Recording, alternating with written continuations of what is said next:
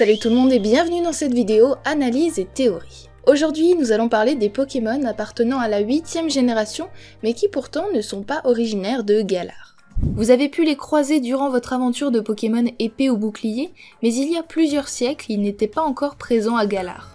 Ils vivaient dans d'autres régions, connues mais également inconnues du monde Pokémon. Nous allons donc essayer d'analyser ces créatures pour comprendre en quoi elles sont différentes des autres Pokémon de la 8G et nous tenterons ensuite de déterminer d'où est-ce qu'elles peuvent venir. On commence avec un Pokémon plutôt original, Glaçon. Ce Pokémon du type glace vit dans les zones enneigées de Galar et son inspiration est assez flagrante. Glaçon est inspiré du grand pingouin, un oiseau qui vit sur les côtes de l'océan Atlantique. Enfin, vivait. Cette espèce s'est malheureusement éteinte au milieu du 19e siècle suite à la chasse trop importante réalisée par l'homme. Donc depuis le 20e siècle, plus personne n'a jamais revu de pingouin en Grande-Bretagne. Mais alors, comment expliquer qu'on en trouve encore à Galar? La région de Galar a pourtant une temporalité qui correspond à la nôtre. Les habitants disposent des mêmes technologies que nous et ont même des problématiques environnementales similaires. Ils vivent donc bien au 21e siècle. Mais alors, pourquoi retrouve-t-on toujours des bécas glaçons sur les routes de Galar? Pourquoi n'ont-ils pas disparu? Eh bien, la raison est simple. Les bécas glaçons que nous voyons à Galar ne viennent pas de Galar. En effet, d'après le Pokédex de Pokémon épée, on apprend que ce Pokémon est originaire d'une zone polaire et qu'il est arrivé à Galar après s'être fait balloter par les flots. Becca Glaçon aime en effet se laisser flotter sur l'océan et il est fort possible qu'au cours d'une de ces petites séances de détente, les vagues l'aient emporté au loin jusqu'à l'amener sur les côtes de Galar. Cette région polaire, dont serait originaire Becca Glaçon, peut correspondre à l'Antarctique dans notre monde. Ce continent, extrêmement froid, est en effet peuplé par de nombreuses espèces de pingouins. Mais il y a quelque chose qui ne colle pas totalement avec cette explication. Ceci. Ceci, c'est le cube de glace que Becca Glaçon possède autour de sa tête, qui lui permet de la maintenir au frais et de la protéger de la chaleur. Mais pourquoi, au beau milieu de l'Antarctique, Becca Glaçon aurait-il besoin de se protéger de la chaleur? La température moyenne de l'Antarctique est de moins 57 degrés. Alors peut-être que le soleil tape fort, mais quand même, à moins 50 degrés, je pense que l'eau et la glace environnante sont suffisamment froides pour maintenir la tête de Becca Glaçon dans un environnement frais. Surtout que comme ce Pokémon a flotté sur l'océan pour arriver à Galar, il possédait bien ce cube lorsqu'il vivait sur la banquise. Pour moi, il y a une chose qui pourra expliquer la présence du bloc de glace, le réchauffement climatique. Depuis le début du XXe siècle, suite aux activités humaines qui prennent de plus en plus d'ampleur et qui deviennent de plus en plus polluantes, la Terre a connu une augmentation moyenne de sa température de 1,1 degré Celsius. Cette augmentation paraît ridicule pour l'homme, mais vous savez qu'elle a d'énormes impacts sur la nature. L'un d'entre eux est notamment la fonte des glaces et la hausse des températures moyennes des pôles du globe. Ainsi, notre continent antarctique, qui était en moyenne à moins 57 degrés, enregistre désormais des températures de plus de 20 degrés. Et là, on se rend bien compte que la tête de notre petit bec à glaçon, bah, elle est plus du tout au frais. Ce Pokémon a ainsi développé ce cube de glace pour la protéger. Il s'est adapté à son environnement pour pouvoir survivre. Avant le XXe siècle, les bécas glaçons étaient donc en forme tête dégel, mais suite au changement climatique, ils ont progressivement transité vers la forme tête gel. Il y a également une autre localisation dans laquelle Becca Glaçon pourrait vivre, qui n'a été dévoilée que le 9 janvier 2020. Il s'agit des terres enneigées de la couronne. Située au sud de Galar, cette région est recouverte de neige. C'est un endroit froid, mais pas suffisamment pour que Becca Glaçon se sépare de son précieux cube. La seule chose qui m'embête avec cette hypothèse, c'est que d'après le Pokédex, Becca Glaçon a débarqué dans la région de Galar. Ça signifie donc qu'il venait d'une autre région. Or, sur le site officiel de Pokémon, il n'est pas précisé que les terres sauvages soient une nouvelle région, c'est simplement une nouvelle zone qui appartient donc à la région de Galar. Et si c'est bien le cas, alors la seule localisation originale possible de Becca Glaçon reste l'Antarctique. On enchaîne avec Rongourmand, le petit Pokémon du type normal.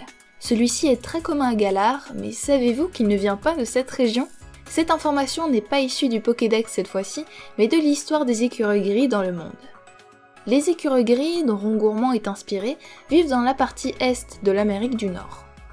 À la fin du 19e siècle, le président de la Société zoologique de Londres, Lord de Russell, a accueilli dans sa propriété des écureuils gris venus d'Amérique.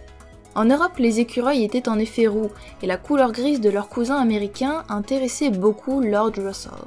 Malheureusement, en apportant ces écureuils sur le territoire britannique, il venait de faire une terrible erreur. L'espèce des écureuils gris détruit les habitats des écureuils roux et leur transmet un virus mortel. Ainsi, depuis des siècles, les écureuils roux disparaissent peu à peu des pays d'Europe au fur et à mesure que leurs cousins gris s'y installent. Ma théorie est que l'histoire des écureuils gris est également celle de Rongourmand. Ainsi, ce Pokémon serait originaire des États-Unis, du Nice donc, et aurait été amené à Galar il y a des siècles par un habitant. D'ailleurs, la forme chromatique de Rongourmand colle bien avec cette théorie, puisqu'il devient roux comme les écureuils européens.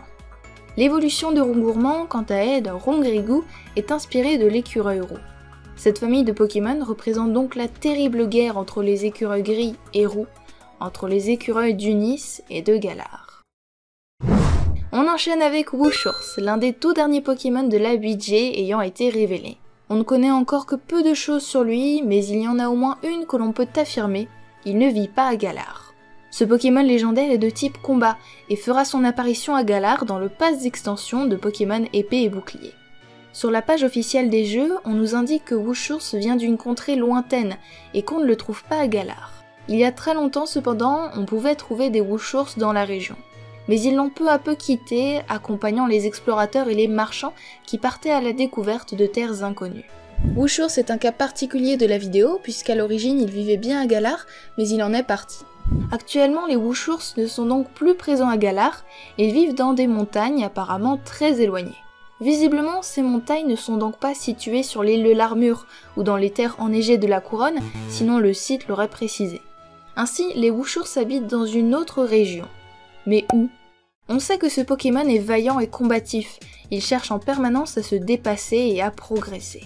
Son évolution, Shifours, ressemble d'ailleurs à un maître du Kung Fu. Cette information nous fait immédiatement penser à la Chine.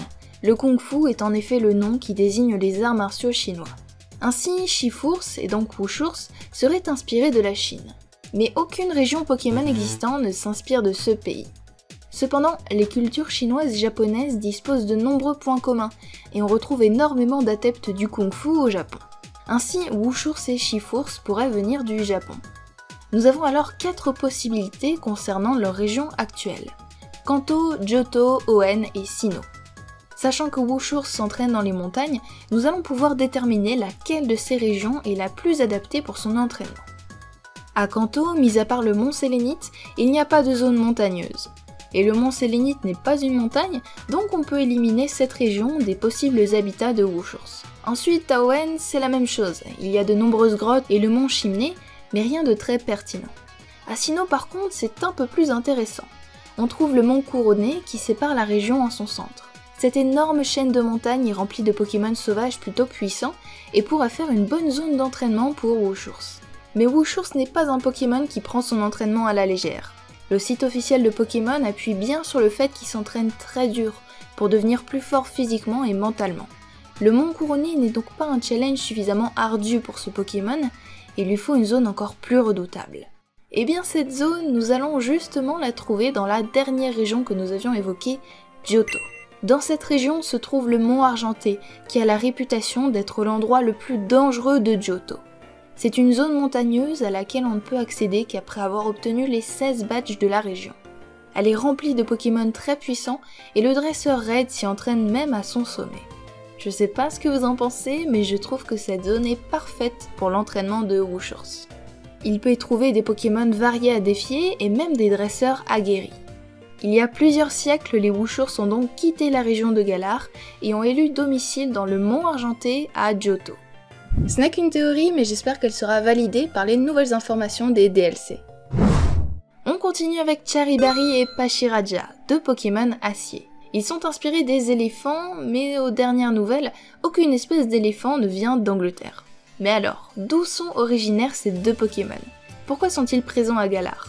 Pour commencer, les éléphants, vous le savez, sont originaires d'Asie et d'Afrique. Charibari et Pachiraja, eux, sont de toute évidence inspirés des éléphants asiatiques et plus spécifiquement des éléphants indiens. Le nom Pachiraja sonne en effet très hindi et l'apparence du Pokémon rappelle le maquillage des femmes indiennes. Pachiraja semble porter du mascara et sa couleur orange est sacrée dans l'hindouisme. Le Pokédex de Pokémon épée nous apprend que les Pachiraja ont été amenés il y a longtemps dans la région de Galar pour effectuer des travaux. Ces Pokémon sont en effet très puissants et peuvent réduire des rochers en poussière rien qu'en les serrant dans leur trompe. Les Charibari ne sont pas non plus en reste, puisqu'ils sont capables de soulever des charges de plus de 5 tonnes. De plus, la trompe de ces Pokémon a une forme d'outil une bêche pour Charibari et une pelleteuse pour Pachiraja. Ces Pokémon aident les habitants de Galar depuis des siècles dans tous leurs gros travaux, comme la creusée de canalisation, la préparation de terrain ou encore la destruction d'infrastructures délabrées. Le rôle de Pachiraja est d'ailleurs exacerbé dans sa forme Gigamax, puisque ce Pokémon se transforme presque en un rouleau compresseur géant. Ces deux Pokémon ont donc été apportés des Indes, et cette explication fait référence à une partie de l'histoire de l'Angleterre. À partir du XVIIe siècle, les Anglais s'installent en Inde et réalisent du commerce avec l'Angleterre. Ils envoient du thé, des épices et des tissus vers l'Europe, mais profitent également de leur présence pour conquérir les territoires indiens. Ils vont alors y trouver de nombreuses choses, comme des éléphants par exemple. Ces animaux étaient utilisés depuis longtemps en Europe et en Asie pour faire la guerre, mais au XIXe siècle, les Anglais leur trouvent une autre utilité. Ces animaux sont forts, intelligents et dociles, ils font donc d'excellents ouvriers de chantier. Ainsi, une loi pour les protéger de la chasse est mise en place et les éléphants se retrouvent sur les chantiers à soulever des poutres ou traîner des chariots. Cependant, malgré mes recherches, je n'ai pas trouvé d'informations sur le fait que les éléphants aient été transportés de l'Inde vers l'Angleterre. Le coût d'un tel voyage était en effet très élevé et l'éléphant est un animal qui mange énormément, donc avoir une forêt vierge juste à côté de son lieu de vie, c'est quand même plus pratique et moins coûteux. Ce détail est le seul petit élément qui vient réfuter l'hypothèse que Cherryberry et Pachiraja aient été importés des Indes. Cependant, il y a encore un détail qu'il faut que je vous partage sur Pachiraja. D'après le Pokédex de Pokémon Sword, la version anglaise cette fois, on nous dit que le Pokémon est venu d'une autre région il y a longtemps et qu'il a travaillé avec les humains. Il est venu d'une autre région. Je ne sais pas vous, mais moi je pense que ces mots n'ont pas été employés par hasard. On ne nous a pas dit il vient d'ailleurs ou il vient d'une région lointaine. On nous a dit il vient d'une autre région. Ici, le Pokédex fait référence à une région du monde Pokémon, différente de Galar. Et cette région, qui est donc très certainement inspirée de l'Inde ou au moins de l'Asie, pourrait peut-être être dévoilée dans les prochaines générations de Pokémon. Franchement, l'Inde est un pays extrêmement riche en termes de culture et de tradition, en plus, mis à part le Japon, aucun autre pays d'Asie n'a inspiré de région dans Pokémon. Donc je pense vraiment que l'Inde pourrait être la région qui accueillerait la 9ème génération. N'hésitez pas à me donner votre avis sur cette théorie en commentaire, ce serait cool d'en discuter. Pensez également à vous abonner à la chaîne pour ne pas louper mes prochaines vidéos. On termine avec Eternatos, l'un des Pokémon légendaires de la 8ème génération. Ce Pokémon serait à l'origine des phénomènes Dynamax et Gigamax de Galar. La raison pour laquelle il est dans cette vidéo est évidente. Ce Pokémon vient de l'espace. D'après le Pokédex de Pokémon Bouclier, il est arrivé sur Terre il y a plus de 20 000 ans, enfermé dans une météorite. Les Pokémon venus de l'espace sont déjà présents dans l'univers Pokémon et divisés en deux catégories, ceux venant de l'espace et ceux venant de l'ultra-espace. Cette deuxième catégorie regroupe les ultra-chimères et on connaît leur lieu de vie. Mais Eternatos n'est pas une ultra-chimère, il vient donc de l'espace normal. À partir de là, il est donc difficile de spéculer sur son origine de façon plus précise, l'espace étant une région extrêmement méconnue dans notre monde comme dans celui des Pokémon. Comme vous l'aurez compris dans cette vidéo, l'Angleterre est un pays qui a des connexions avec énormément de pays du monde, et ces relations se retrouvent dans les Pokémon qui peuplent Galar. Il y a plusieurs autres Pokémon qui ont des inspirations venant de pays différents, mais je n'en ai pas parlé dans cette vidéo car tous semblent vivre depuis toujours à Galar, d'après les informations du Pokédex. J'attends en tout cas vos avis sur les Pokémon dont j'ai parlé et sur les théories que j'ai pu émettre. Cette vidéo m'a été inspirée par le youtubeur Oops Hip qui propose d'autres hypothèses sur l'origine des Pokémon, genre pour lui par exemple Becca Glaçon vient d'Australie. Si ça vous intéresse et que vous comprenez l'anglais, n'hésitez pas à aller voir, je vous mets le lien de sa vidéo en description. En tout cas, je vous remercie d'avoir regardé ma vidéo jusqu'au bout, on se retrouve très bientôt pour une prochaine. Bye tout le monde